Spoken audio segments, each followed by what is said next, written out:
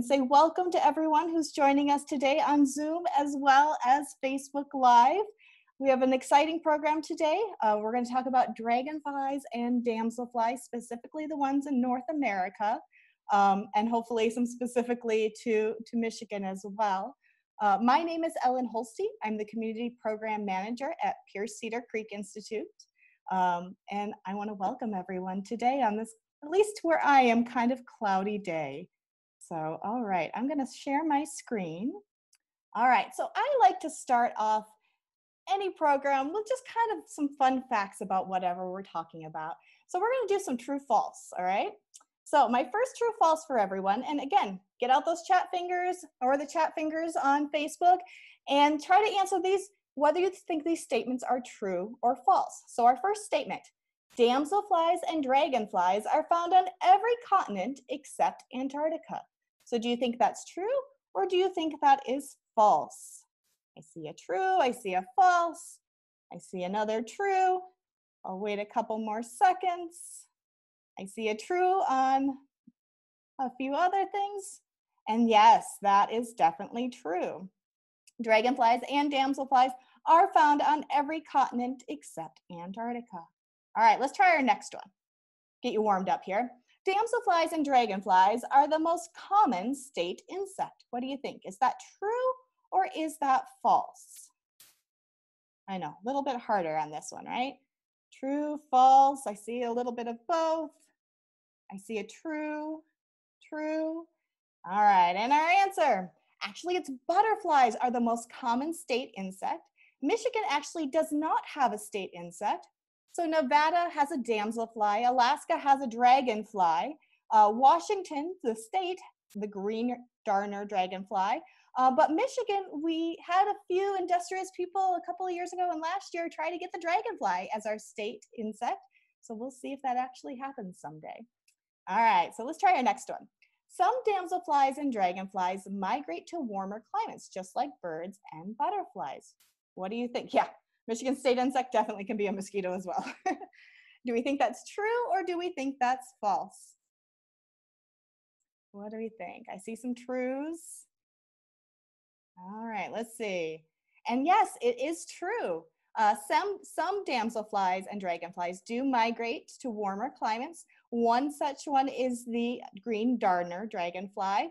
Uh, and I love this little cartoon. I'm off to see the Great Wall of China. What about you? I'm off going to Disneyland. Uh, so it's not the same as birds and butterflies, where uh, at least birds, where they're going to do it all in their same lifetime. Uh, at least some of the dragonflies, they actually need two generations in order to do that migration. So, all right.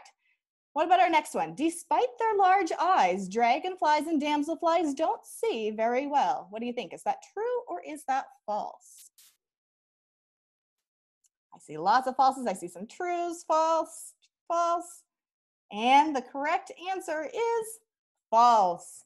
Damselflies and dragonflies almost have 360 degree vision. So a lot of times we think of owls as having a great head turn, being able to see really far uh, on either side.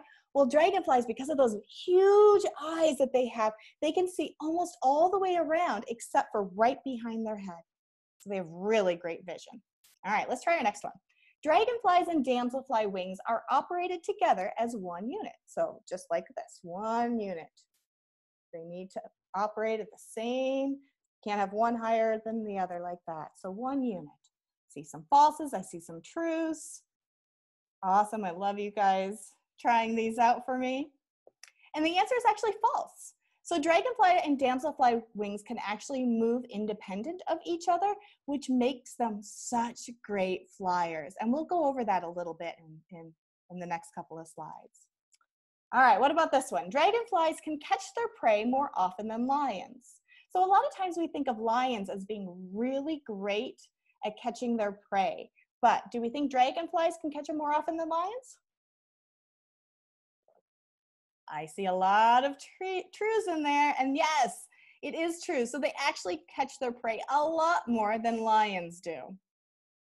All right, and I think this is our last one. Dragonflies are one of the oldest and largest known insects of all time. What do you think? Is that true or is that false? Yes, true, true, true. Definitely, it is true. Uh, the largest and the oldest insect of all time was a dragonfly. Its wingspan, so how far across, was about 27 to 29 inches. So that was a really, really big insect. So awesome. Good job, you guys.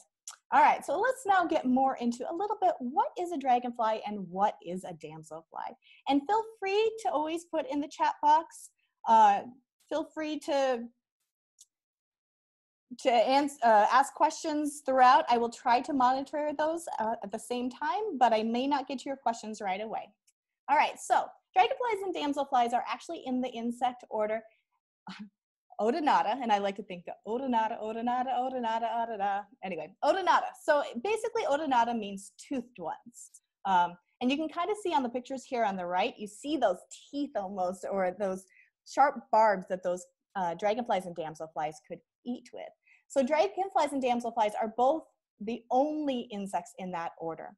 And there are over 5,000 species worldwide, and over 160 dragonflies and damselflies here in Michigan. About 100 dragonflies and about 60 damselflies.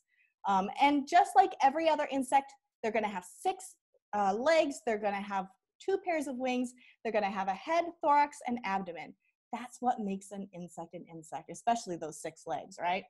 So, and because they're called the toothed ones, dragonflies are carnivores. So they eat meat. A carnivore eats meat, so it's going to eat other insects like mosquitoes.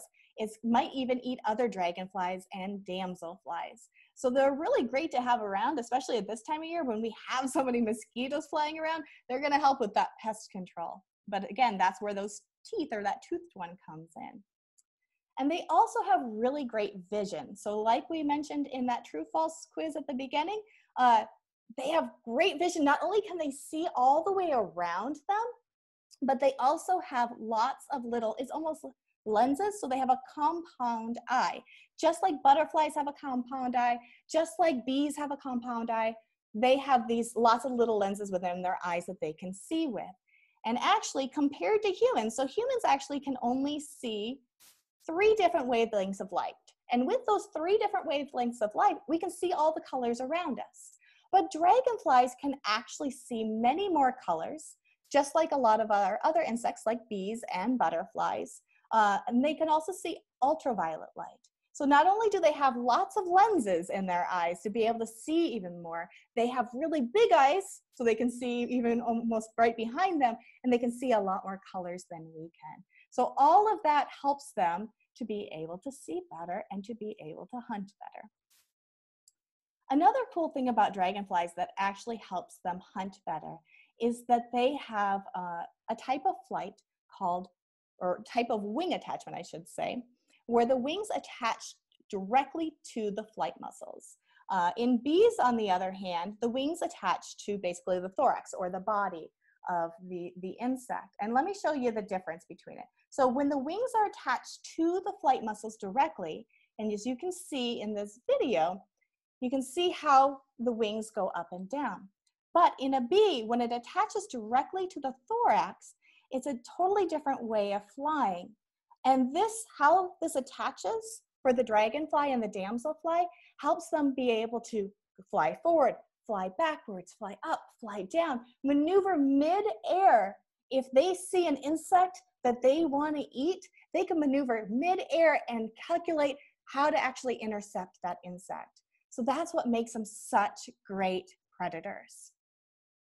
All right. Come on, stop. There we go. Another thing about their wings is that they have this mark at the end of their wings. So this is called the pterostigma. Sometimes people just call it a stigma. If you ever look in certain books, you might just see the word stigma.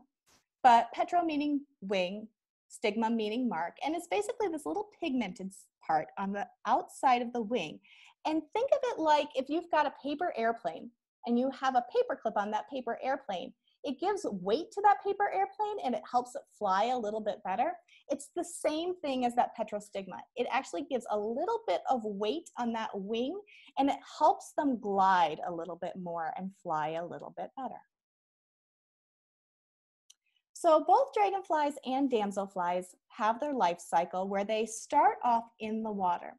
So they start off as eggs in the water, then they turn into larvae, and then they eventually molt, uh, basically shed their skin, and eventually become adults. But a lot of their life is actually underwater.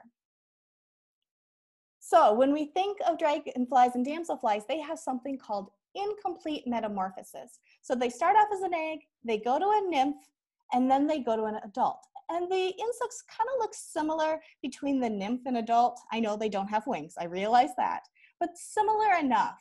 Whereas if they were to have complete metamorphosis, so such as a butterfly, they'd go from an egg to a larvae to a pupa, so that would be that cocoon stage or that chrysalis stage into the butterfly.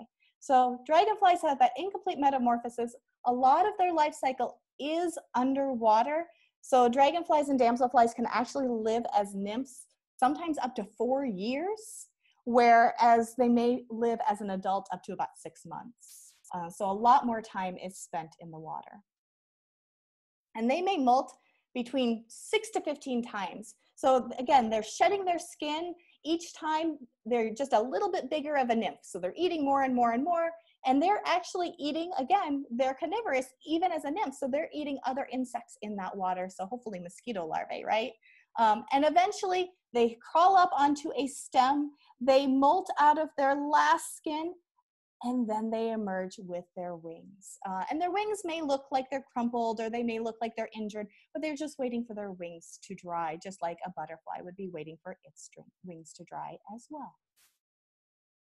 So when they're in the water, one way that you can tell the difference between a damselfly and a dragonfly is by what I like to call their tail, all right? So you're gonna look at the very end of them, right down here. And if it's a damselfly, it kind of has these long, almost gills, and they do call them gills, but long tails almost. And they're kind of skinny in the body as well. But if they're a dragonfly, they're a lot chunkier in the body, so a lot more spread out in the body. And they don't have those little long tails. They're just very, very little at the bottom. So if you ever do any pond stuff and you, you take out insects from the pond, um, and you're looking through what you found and maybe you have some water striders, if you see something like that, you can tell a damselfly by a dragonfly again by those longer tails that they've got. Uh, and depending on which type of dragonfly and which type of damselfly you have out there, they may look a little bit different than the previous picture I showed, but they're all gonna have those longer tails for those damselflies and those little short stubby and more broader bodies for those dragonflies. And that translates also into when they're adults. So when damselflies are adults, they actually have a very slender body. Uh, you can kind of see in this picture here, it's much more slender than in this picture over here, this the dragonfly. There's actually a gap between their eyes. So remember we had those big baseball-like eyes on the top of our head. If you are a damselfly, they actually have a space in between them. Um, and you can kind of see it in this picture here. Whereas if you're dragonfly, they're going to be a lot closer together. They may even have it almost looks like a seam right on the top of their head where they're touching each other, or they may be just a little bit separated, um, but they're going to be a lot closer together. Their wings are also going to be a little bit different. Uh, so if you look on the dragonfly wings, both of the wings, both the forewing as well as the hind wing, are going to be a little bit broader at the base. Whereas on a damselfly, they're going to be a lot more slender at the base or a lot more narrow at the base. And my favorite way of telling the difference between a damselfly, because sometimes it's really hard to look at dragonflies and damselflies from far away and figure out what they are, um, when they are resting, so when they are on the ground, when they are on a leaf, or any place like, like that, if the wings are more folded up, they're most likely going to be a damselfly. If their wings are straight out like an airplane, they're most likely going to be a dragonfly. So I kind of think of it like damselfly, the next letter in damselfly is an A, right? That A is kind of like the wings folded up whereas dragonflies are like a big dragon coming through. And so again, this is when they are at rest. Uh, so that's probably the easiest way to tell the difference between a dragonfly and a damselfly when they're an adult. All right, so what are parts of a dragonfly and a damselfly? Well, the, the main things that we need to think about, remember they have six legs because they're an insect. We have a head, a thorax, and an abdomen, so that long part behind them. You have your forewings, so your wings at the front, and your hind wings, your wings at the back. And you have that pterostigma, which is right on that wing, um, which is going to be that weight. Remember that paper clip on your paper airplane uh, on the wing. And you also will have what they call a nodus, which is kind of like a notch on the wing. Um, so those are some characteristics that when you look in a guidebook or when you are looking through a book trying to figure out what you actually have, those are some characteristics that they're going to talk about. They're going to talk about what it looks like on the head, what it looks like on the thorax, what does it look like on the abdomen? Do they have spots there? How long is the pterostigma, so that, that mark on that wing? Um, a lot of those things are what they're going to look at. And again, these numbers here on the abdomen are just segments. A lot of times they have 10 segments to their abdomen. So this is like segment number two, segment number three, four, five, six, seven, all the way out to 10. And so there might be some certain characteristics, especially in segment number two and three, that they might ask you to look for. All right. So the other fun thing about dragonflies and damselflies is they have something called sexual dimorphism. All right, big word, I know. I'm gonna stay away from that word for the time being.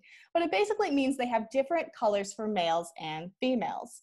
Um, and so just like a cardinal, a male cardinal is very bright and red and we know exactly what it is. A female cardinal is gonna have more muted colors. And the same with peacocks. Well, that happens also in our dragonflies. So for example, in this dragonfly, the male is bright green and has a lot of some blue here, whereas the female is a more muted blue color. Or on our white-faced meadowhawk, it tends to have a very bright red color, whereas the female tends to be more of a muted orangish color. So it's really good to know if you have a male or if you have a female dragonfly uh, or damselfly because that can also help you figure out what species you have. All right, last part in the weeds here. Um, so again, male and female, some ways to tell male and female. You have to get kind of really close to be able to tell.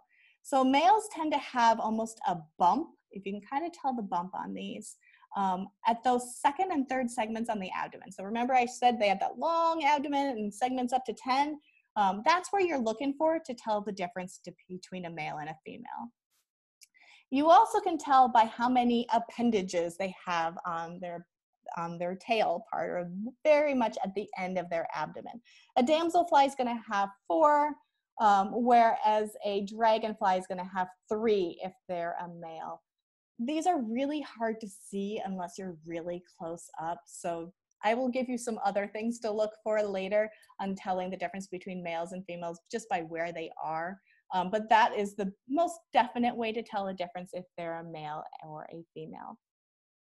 And their colors, um, the fun thing about their colors, their colors can actually change uh, depending on temperature a little bit. So these dragonflies and damselflies are very temperature dependent upon their environment. Um, so if it's a colder day, their colors might not be as vibrant. Uh, and so that will be a hard thing to figure out sometimes. Um, but one cool thing about male and female dragonflies, you may have seen this wheel formation. This is how they mate. Uh, so they kind of almost make a wheel or a heart-shaped formation, and that is how they mate. Uh, a lot of times this is happening right by the water because they want to lay those eggs in the water because that's where they start their life cycle. All right, so get out those chat fingers again. We had a lot of information there. A lot of information. So I'm to see if you remember what's the difference between a dragonfly and a damselfly. So I'm to show some pictures and I want you to put in the chat box, do you think it's a dragonfly or do you think it is a damselfly? All right, you ready? Let's get going. All right, this is my first one. Look at its eyes and look at its wings. Dragonfly or damselfly? Ooh, I see a lot of damselflies, a lot of damselflies. And the damselflies have it. Yes, definitely a damselfly. You can see that the, its eyes are a little bit more separated and its wings, when it's at rest, are folded up. All right, let's try our next one. Dragonfly or damselfly? I see dragonflies. I see two at least. Four more dragonflies. Yes, yes. Dragonfly is definitely what this one is because again, those eyes are closer together. Its wings, you can tell a little bit in this one, this, its wings are broader as well as its body. All right, let's try a few more. What about this one? Is it a dragonfly or is it a damselfly? Dragon, dragon, yes, yes. Oh, you guys are good. Yes, definitely a dragonfly. Again, those eyes are closer together. The body is a lot uh, broader and its wings are also much broader and more out like an airplane. All right, try this one. Is it a dragonfly or is it a damselfly? I see damselfly, damsel, damsel. Yes, yes, definitely damselfly. Again, because those eyes are more separated, its body is more slender, and its wings are also more slender. You can't tell when they're flying as much because, again, they're going to fold up when they're at rest, um, but their wings are much more slender. And our last one here dragonfly or damselfly? Oh, you guys are good. You dragon, dragon, dragon. Yes, dragon, most definitely a dragon. Again, its body is broader. When it's at rest, its wings are out. Uh, so great characteristics. All right, are we feeling comfortable? Are we feeling comfortable in knowing our difference between a dragonfly and a damselfly so far? Yes. Oh, I like that. Good vote of confidence. All right. So when we are looking for dragons and flies and damselflies, what we want to look for is water. I know you might be thinking, wait a minute, I have seen them other places than water. But remember, a lot of their life cycle happens within the water, the egg, the larval stage. And again, a larval stage is a long time in their lifespan.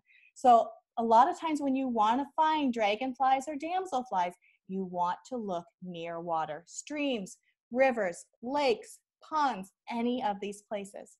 However, Remember I said earlier, it's kind of hard to tell the difference between a male and a female. The, when you are not near water and you see a dragonfly or a damselfly, a lot of time that, times that's gonna be a female or an immature adult, so it hasn't fully developed all of its parts that it needs to reproduce. Um, those are the ones that are usually going to be found away from the water. If you are near water, uh, males tend to stay near the water. Males are much more territorial. They want to protect their spot. They want to stay near the water because females pick those males for mating depending on their location. It's all about location, location, location. If they've got great real estate, the female will pick the male. So they want to hold on to that spot. Uh, so a lot of times they're going to stay near it. Um, and I'll get to your question in just a bit. All right. Um, the other thing to look for is the time of day that you're looking for dragonflies and damselflies. So early in the morning, a cloudy midday or late afternoon are great times to look for dragonflies and damselflies. Um, they don't like it too hot. Think again, they are taking their heat or their temp body temperature from the environment. If it's too hot, not good. Um, so if it's in the mid afternoon or early afternoon, they're going to be looking for more of those shaded spots because it's not going to be as warm. And the other thing, if it's windy, so if it's a windy day, they're actually going to go to the lee side of a tree or an area that's not going to be as windy because that's where they're going to find its food. So that's when a lot of those little insects actually go over there to get its food. And so a lot of times that's where they're going to go as well to go get that prey. All right. All right, so before I get into the weeds here, a little bit of what is the difference between some of these insects somebody asked a question. So Susan asked, when trying to make your water feature good for dragon or damselflies in an Indiana winter, is it good to keep a floating heater in the water? It'll be fine otherwise. There's a lot of places that do not have floating heaters. Uh, there's a lot of other ponds and rivers that they're gonna go in that they're not gonna need it. You probably don't want them, even if they freeze over at the bottom or at the top, it's probably okay as long as they don't freeze completely. So, all right. Um, and did I have another question by anyone? I think we're good. Oh, all right. So I am going to just walk you through a little bit um, about our dragonfly families and our damselfly families. I'm not going to get down to genus or species level. Uh, getting down to genus and species level, as I kind of showed you previously with the coloration and everything, is a little bit hard. You can do it, and I'll give you some resources at the end of this on how to do it. but I want to get you at least to the family level. All right. And so if we can at least get to the family level, that's going to whittle down a lot of other things. So we're going to start off on our damselflies. So our damselflies actually have only three families, insect families that you need to worry about. A lot more, a lot less than the dragonflies, I'll tell you that. So they've only got three. You want to think they have either a broad wing family, a narrow wing, or sometimes it's also called pond damsels, or spread wings. And when you're looking at these families, you want to um, you want to think about their wings. You're, this is the time that you really want to look at wings is on damselflies. The broad wings are going to be have a colored wing. The narrow wings are going to be more closed when they're and clear when they're perched. And the spread wings, remember I said damselflies tend to keep their wings closed when they're perched or when they're at rest. Well, the spread wings have them out just a little bit, not all the way out like an airplane, like you would have for a dragonfly, but they are just spread just a little bit out, so not all the way together. All right, so let's go over a little bit the difference between these families. So our first family that we're going to talk about is the broad-winged. All right, so these are more large and showy, large for a damselfly. Again, as I said previously, the wings tend to be more colored. They have what they call broad wings with dense venation. Basically, the veins are really close together on their wings, if you can get that close. Um, they also have a notch uh, that is lies farther out on the wing, so not as close to the body. They have long legs. So when you're looking at all your damselflies, look at how long these legs are on this guy. They're quite long, especially in this picture, you can see that they're quite long. And the fun thing about these guys is that when it gets hot out, they actually can point their abdomen, so the long part of their body, up towards the sun, and supposedly that helps cool them a little bit. But there's only seven of these species in the eastern US. Um, so there's not a lot of them, but they are pretty easy to tell because of all the damselflies, flies these are the ones that have those colored wings. They may just be colored a little bit here, uh, or the whole wing might be colored, but it's a pretty easy way of telling them I thought I saw a question, but no, okay, we're gonna keep going. All right, so that is our broad wings of our damselflies. Our next one is our narrow wings or our pond damsels. So these guys are gonna have wings that are clear, so not colored like the last one, and they're gonna be closed up when they're perched. So they're not gonna be spread out at all. They're smaller in size than our previous dragonflies. Uh, and they're more common in open ponds and marshes. So if you're in an open pond or in a marsh, that's where you're gonna find them. Their eyes, so if you look at the picture here on the left, their eyes are mostly black or brown. If you're looking from above, right here, can see the black right there. And they're brightly colored from below. So you can see how colored they are right here. And up above, they have that black. And their face is actually paler than the top of their head. So looking at those facial features, if you can think of that as a face, um, is, is important for telling the differences on some of these. Their thorax also has a stripe on it. And what I mean is like right here, if you can see, this part of the body, that's that stripe. So a lot of times you see a stripe here or there's a stripe here. So this is a, a bluet, there's a stripe, this is the orange bluet, and this is the skimming bluet. All of them have that stripe. And this one has more species than the last one. Uh, this one has 36 species in the eastern US. But again, look for those wings when you're looking at those different species. All right, and our third family when it comes to damselflies, our third family is those spread wings. So again, not spread out like the dragonflies, they're larger than the pond damsels, and they're partially spread out, those wings. And you can see it a little bit, especially right here. And the pterostigma, so remember that's that part at the end of the wing, that's that heavier part, think of it like the paper clip, that mark, it's a little bit longer than some of the other damselflies. They also perch with their abdomen more facing downward. So remember the last one kind of came up a little bit when it got hot. This one's more downward or more vertical when they're at rest.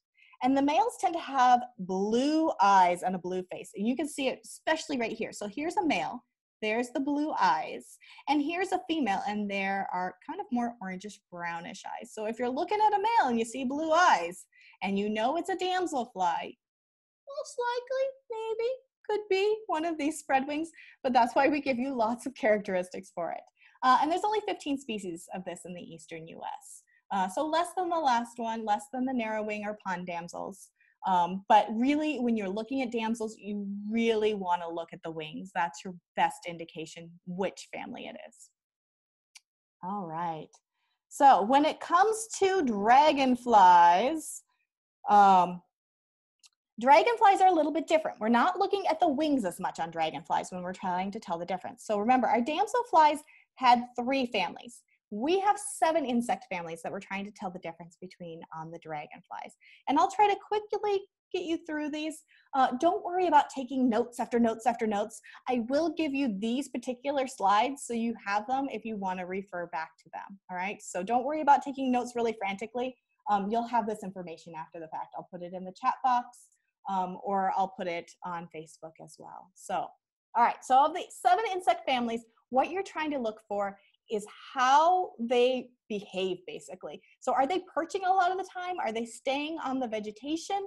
and basically just going out and trying to get stuff or are they flying most of the time also we need to look at the eyes and i'll tell you what that means so basically remember i said damselflies tends to have that big separation between the eyes well dragonflies can have a separation but it's just a small separation and you can see it right here on this picture on the right but the one above it has that itty bitty bit of a separation just kind of like a little nose in between almost um, but it's not as far out on the sides of the head. So that's what I mean by separated.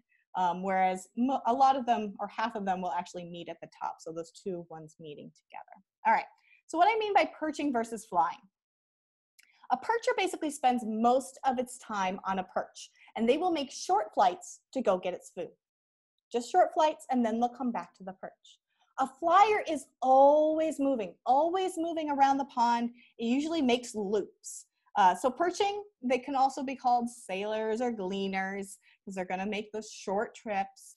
But a flyer can sometimes be called a hawker is another word, or patrolling, because they're going to keep going around and around and around the same water source. So that is a way to tell the difference right off the bat. If you're seeing something that's continually circling around a water source, you already know that that takes out a few of your dragonfly families. But if you know if you're a percher, again, that, that helps identify things. All right, so our first percher that we're gonna talk about, we're first gonna talk mainly about the perchers and then we'll talk about the flyers. So our first one is called a petal tail. I love that these names are so descriptive, right? Uh, so a petal tail dragonfly is a percher. It's a little larger in size, and what I mean by size is the length, not the wingspan, the length of it. So it tends to be about two to three inches in length.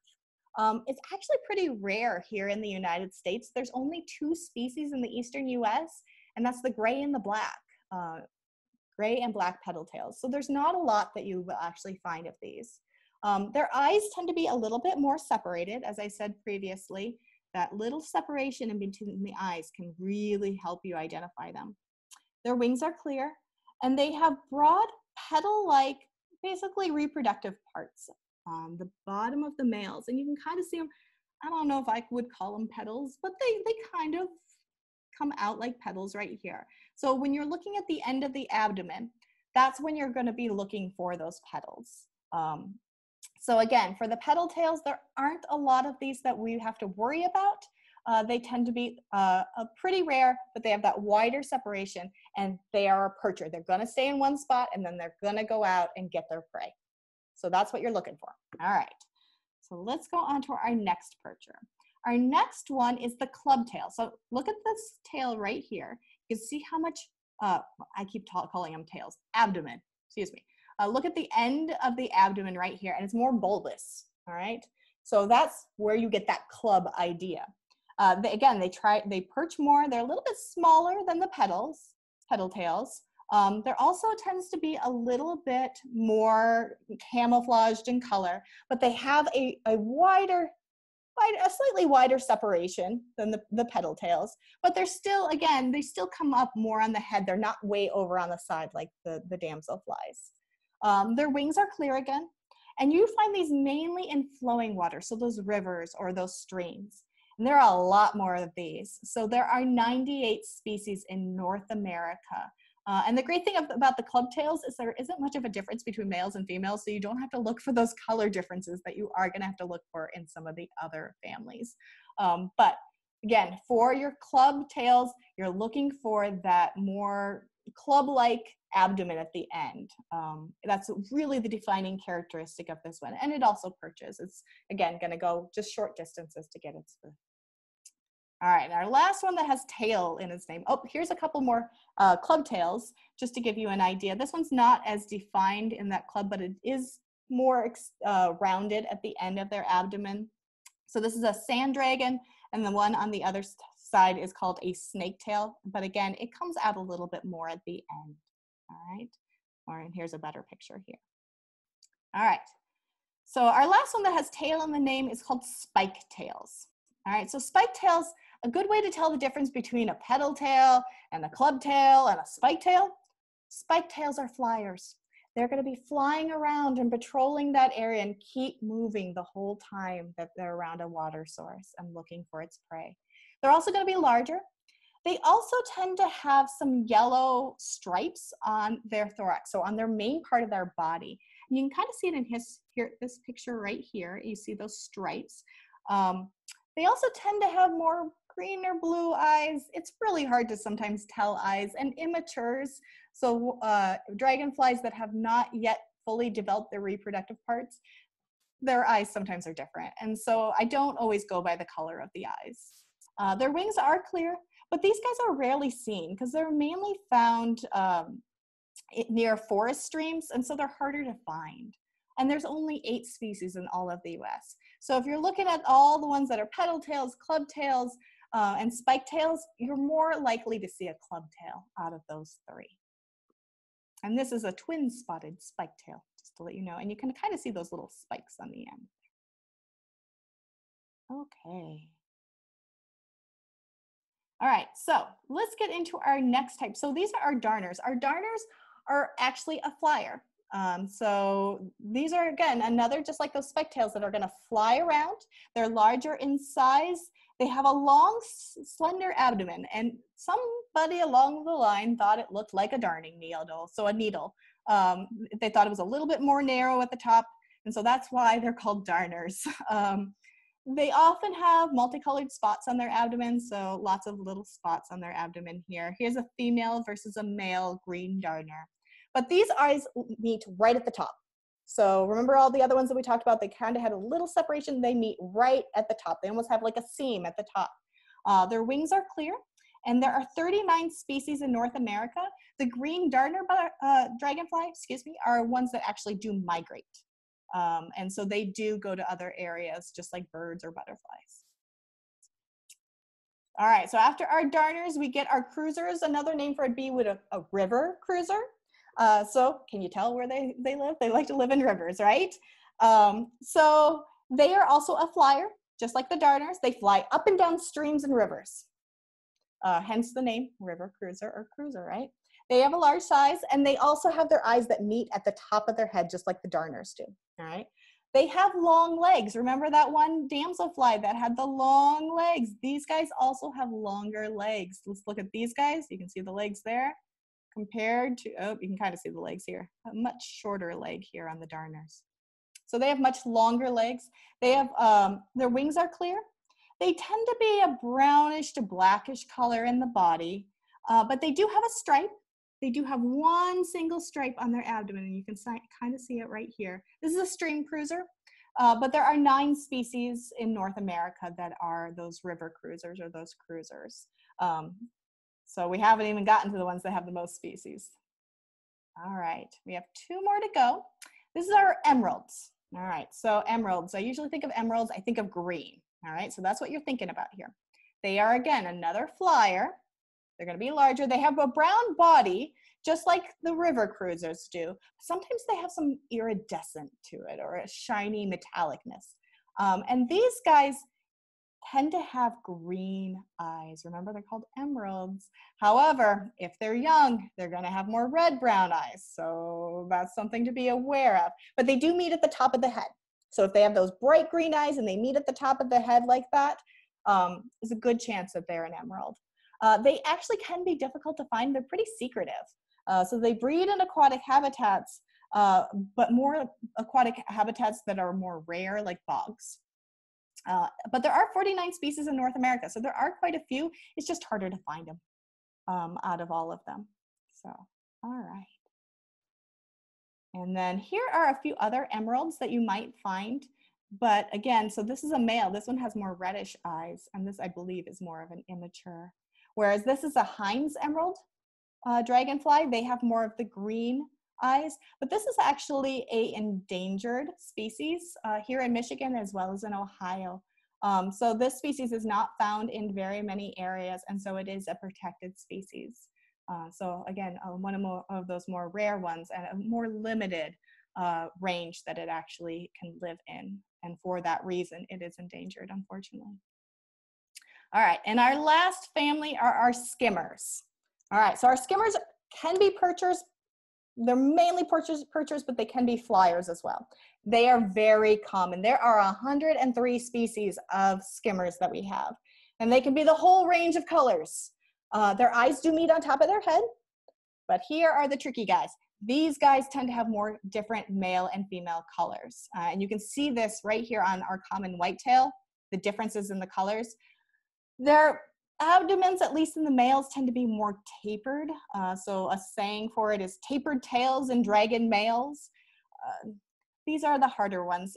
These are more common. So if you're gonna find any dragonfly and they're gonna be perching um, and it looks they have those eyes together it's a good and they've got a broad body again it's a good chance you're going to have a skimmer um, so here's some other examples of skimmers uh, again you see the male versus the female uh, this is a four spotted an amber wing male versus female um, i have a couple more here a halloween pennant this is, kind of fun names here male versus female a dot-tailed whiteface, again, male versus female. But these bodies, again, it almost reminds me of a darner in a way. So these guys are your tricky guys. Um, Eastern pond hawks. So if you've ever heard of pond hawks or meadow hawks, they are your skimmers. Um, and they tend to be a little bit larger. So again, male versus female and male versus female. All right. Oh, I got a couple more, sorry. Our saddlebacks. So male versus female, as well as our wandering gliders, male versus female. So those are our families. So again, we have three damselfly families and we have uh, seven dragonfly families. So I know lots of information, a little bit of a fire hydrant here, but let's see how much we have retained. Let's see how much we've got here. So we're gonna try a quiz here. In a way, it's a fun quiz. No worries if you get it wrong. So male, or who am I, all right? So look at this guy. First, we got to identify is it a dragonfly or a damselfly? And you can write this in the chat if you want to, or if you just want to think it in your brain. All right. Oh, geez. Somebody already knows what it is, right? All right. So, uh, yep, we've got a dragonfly. Uh, so, first off, we look, it is perching. All right. So, that can eliminate some of our dragonfly families. Second, it's got those wider separated eyes. So, that's going to be one of our tails, our, our club tail, our petal tail, or our spike tail. It's got clear wings, okay, we like that. And its abdomen is club shaped. So somebody totally got it. And it's a club tail. It's actually a spiny leg club tail. So you you were totally on when it came to a club tail dragonfly. Uh, it is a spiny leg club tail just because look at the spines on its legs, but definitely a club tail. Really good job. I loved that you knew that right away, Carolyn. That's awesome. All right. So who am I? First, remember, identify, are we a dragonfly or a damselfly? Look at its eyes, look at its wings. All right. So definitely a dragonfly. All right, so we've got that down. Now, we know it's a flyer just because we were, we were watching it, right? It's a flyer. There's my clue for you. Uh, so we know it can't be any of those, those first two tail ones. Got a mostly brown body. All right, so we've got a couple of guesses here. The eyes do meet at the top of the head, and you can kind of see that. And it's got green eyes. Yes, you definitely honed in on those green eyes. So it is an emerald. It's actually called a clamp-tipped emerald. Um, but that's when those green eyes are true. Uh, this would be, I think, more of a female versus a male here. All right, so let's try another one. I've got two more for you. All right, so damselfly or dragonfly? What's what's our difference here? Damsel, yep, damsel, definitely a damselfly. It's got blue eyes. That should be a little bit of clue. Clear wings, a long pterostigma. Wings are partially spread when perched. Oh, that should be a big clue, right? Yep, spread wings. So it's a sweet flag spread wing is the name of that one. And our last one, who am I? Dragonfly or damselfly? Yep, and it's a male. Very true. I wanted those those blue eyes. All right, yep, dragon. You can tell by the wings and the eyes. It is a flyer. There's my clue on you. It's hard to tell on pictures. Uh, but they also vertically perch, so that's a hint. Eyes meet on the top of the head. There are colored spots on the abdomen, and look at the shape of that abdomen. Long, slender abdomen. Kind of looks like maybe something my mom might have sewn with. All right, there we go. Darners. This is a springtime darner. Um, so this is another darner. It's got that narrower. So somebody thought it looked like a darning needle. All right. So some of our threats to our damselflies and dragonflies, people were kind of uh, talking a little bit about this in the chat, um, but definitely habitat destruction. So when we switch our wetlands to more of an urban environment, we're going to be losing some of our dragonfly and damselfly species. For example, the, the Hine's emerald. Um, climate change could also be a big threat to these guys because they need that wet environment, especially when they're in that larval stage or that egg stage. They need that environment. And any pollution that you get into that water is gonna harm them. Um, and so those are the main threats. All right, here we go. So resources. This is where you go. So how to observe and identify. So a great way to observe and identify binoculars. You can get close up, you can see those little features, and you remember they have such great eyesight. If you get too close, they might fly away. So photography is another great way of observing them and trying to identify things because again, you can, especially with a really good zoom, you can get really close up and you can also take a picture and then look at it later to be able to identify. You can also try capturing with a net. Now the problem with capturing with a net, you need to go from behind and below because remember those eyes are so good they can see all the way almost to the back except that one blind spot in the back of their head so go from below and behind um, and you can also try to walk through grass to scare them up especially if it's a percher if it's a flyer so the, some of those flying dragonflies you can watch its flight pattern and try to ambush it um, but again go from below and behind you do want to be careful. Uh, the large ones can bite. Now, when I'm talking about bite, they'll give you a good pinch. They're not going to really draw blood, but they'll give you a good pinch. Uh, some of these dragonflies and damselflies can eat another dragonfly and damselfly, and so they've got some good good mouth parts. Remember, they're called toothed ones, right? Um, and so you do want to think about that when you're doing it. Um, but don't chase them, because remember, They've got those great wings. They can outmaneuver you at any chance. So, un- uh, unlike when we go after butterflies and we can go with the net and we try to chase the butterflies with the net, I love watching kids do this, by the way. Uh, you don't want to do it with a dragonfly or damselfly. They're going to win. More often than not, they're going to win. So, all right, books. My favorite book is probably the one on the left. Uh, it's kind of a heavy book, I do have to warn you, but it's got some really great pictures. It shows you the male and females in this. Uh, it shows you sometimes the immature ones. So those are some great books. Um, there are some great apps out there. One is called the Dragonfly and Damselfly Field Guide. It's a little bit older. They haven't updated recently, but you can search by color, habitat, and size. You can zoom into pictures, so it's great for pictures.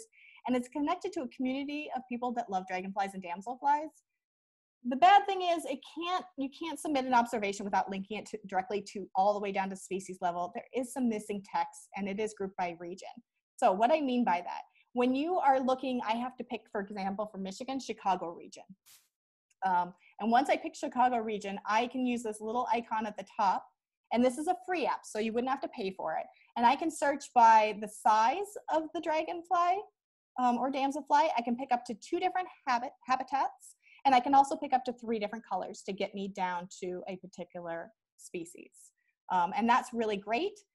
The bad thing is, or good thing, um, it does give you some great pictures, which I love, but sometimes it doesn't have the text form. It hasn't been completely filled out. So it is a good resource, it's not a complete resource. All right. So that's one.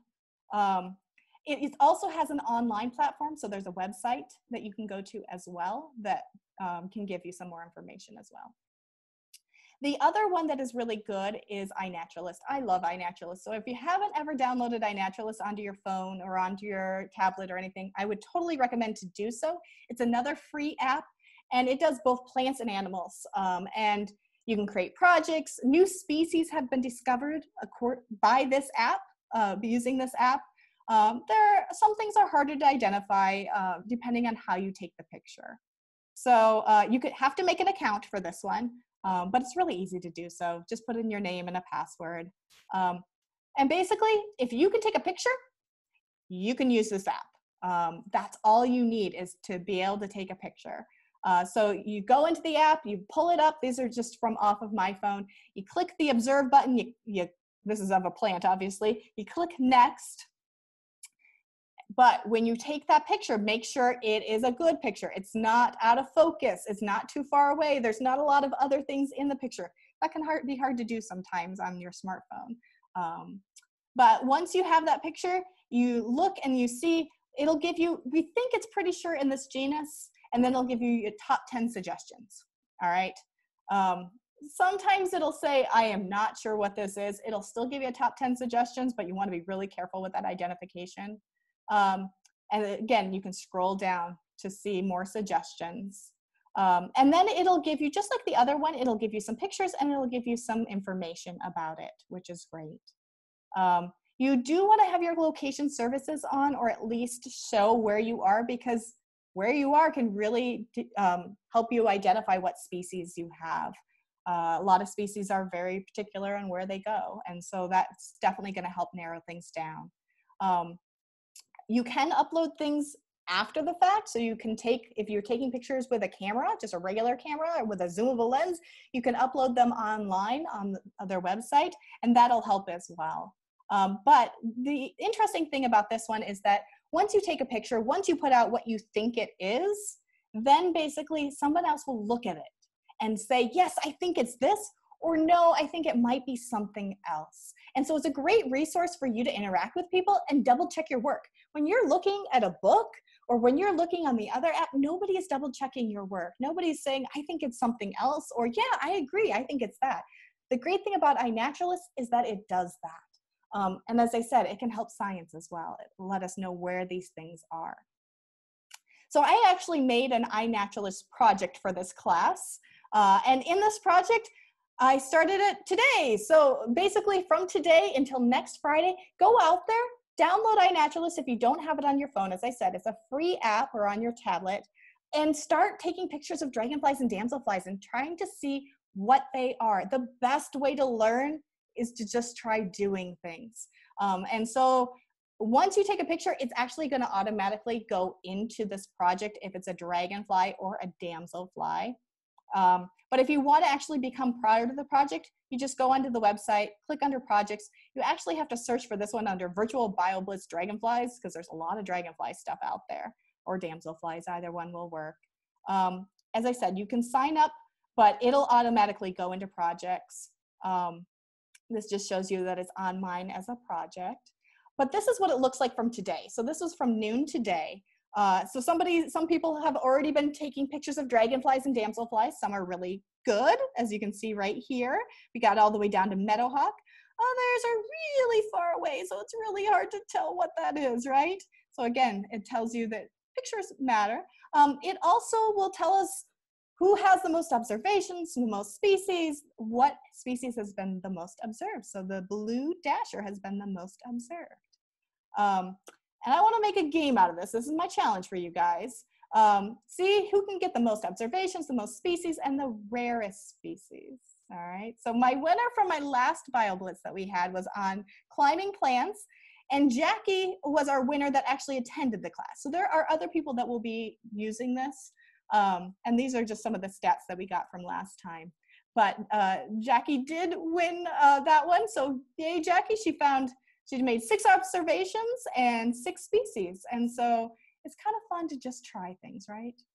All right, so here's my advice from a dragonfly, and I'll try to then answer some of your questions, but I tried to get through this today. So advice from a dragonfly.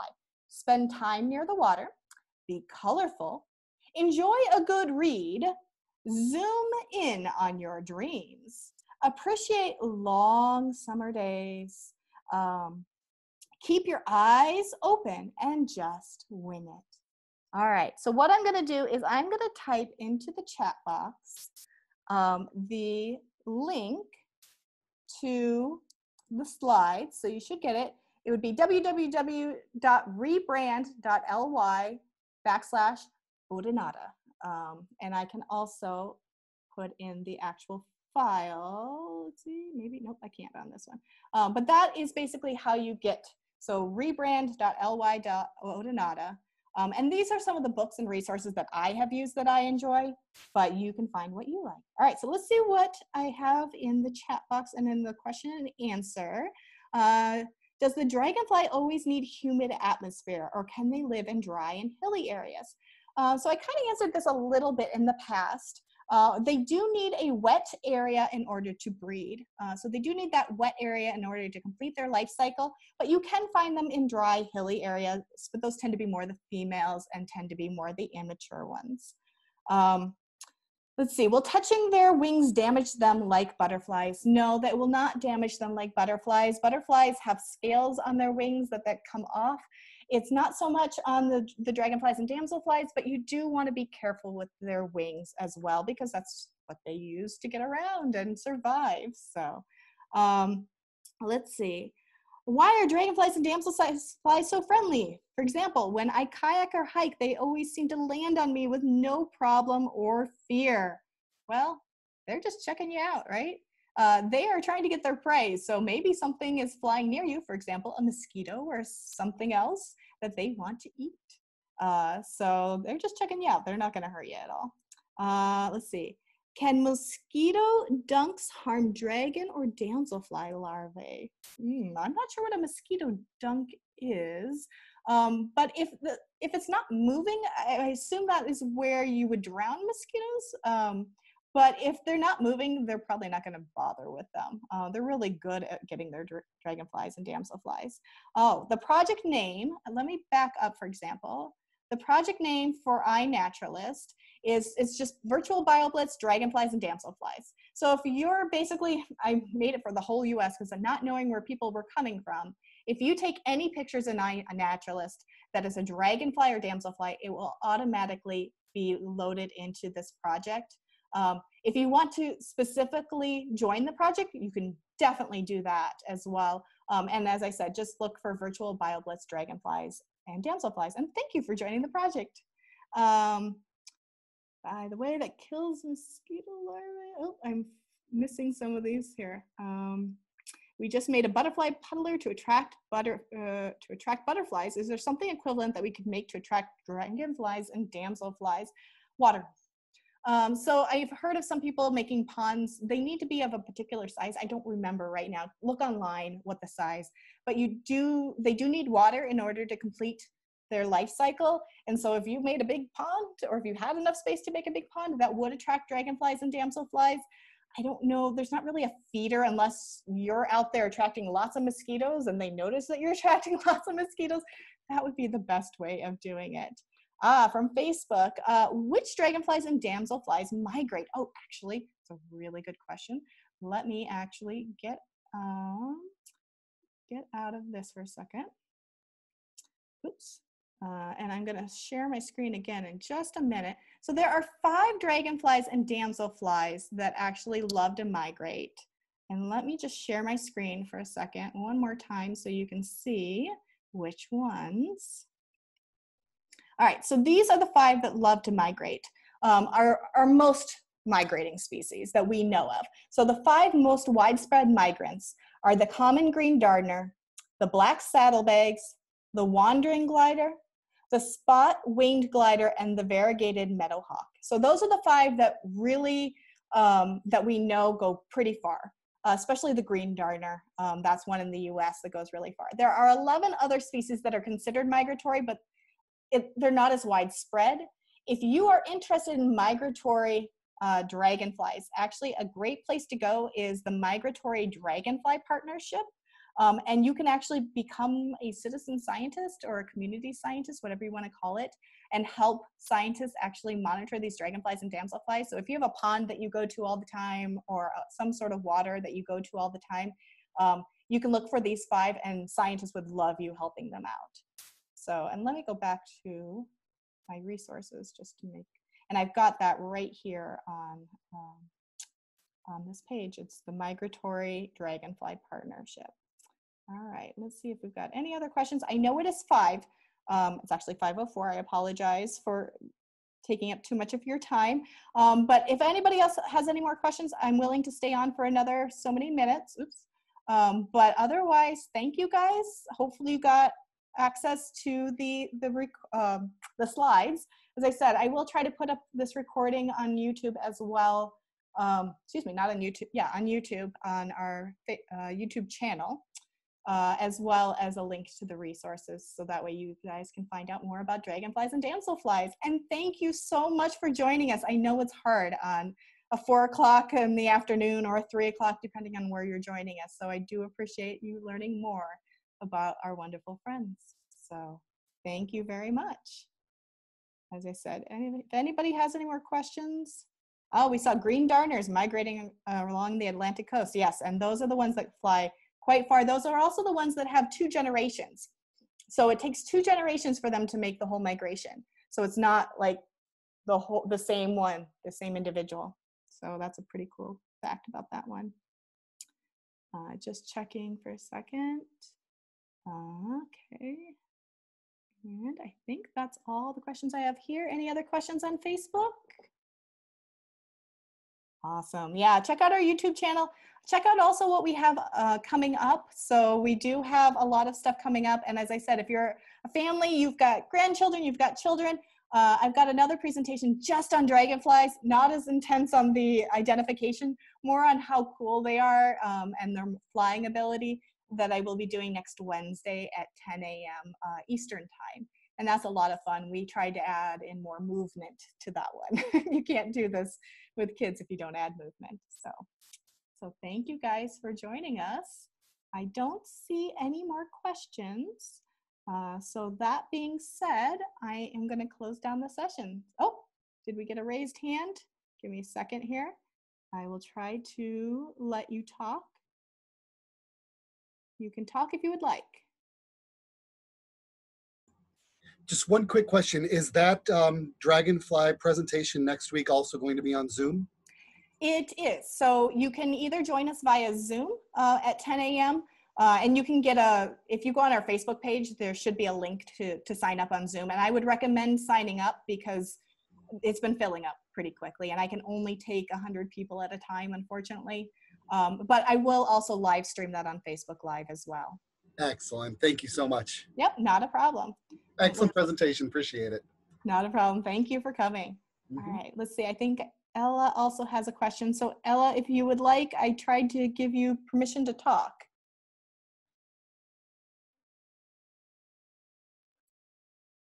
but you have to unmute yourself if you want to do so. I can only give you permission, so I just saw a hand raise, so. All right. Well, Ella, do you would you like to talk?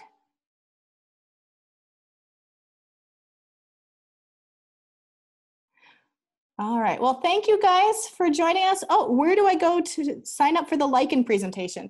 Uh, two places you can go. You can either go to Pierce Cedar Creek Institute's Facebook page, um, and under the events tab, you will see virtual BioBlitz, um, and I think I called that one Do You Like Lichen? I actually love lichen, so I should have put love, but, uh, and you can sign up there. There'll be a link there, or you can go to cedarcreekinstitute.org uh, that is our webpage for Pierce Cedar Creek Institute. And there as well, there should be a link to sign up for that one as well. And that is August 6th, so another Thursday. And I'm really excited about that one because uh, my background is in fungi. I really like my fungi, and lichen is partially fungi. So, oh, thank you, Sarah, for putting that in there. Awesome. Great. All right. Well, thank you guys for joining me. Have a great day. And looks like tomorrow will be a great day to go look for dragonflies and damselflies. So don't forget about that project and please uh, try to practice what you learned today. So thank you guys for joining us and I hope you learned something new. Bye.